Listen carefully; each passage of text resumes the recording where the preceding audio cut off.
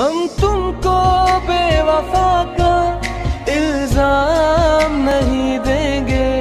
हम कल से मोहब्बत का नाम नहीं लेंगे।